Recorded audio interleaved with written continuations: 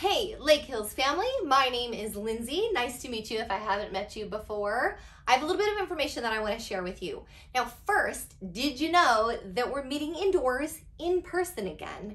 Sunday mornings at 10:30 in our auditorium, we have services. We also have childcare again. Now, things might be a little bit different. We have to wear masks and our rows are spaced out and we have sanitation stations all around, but we are super excited to be meeting together in person again.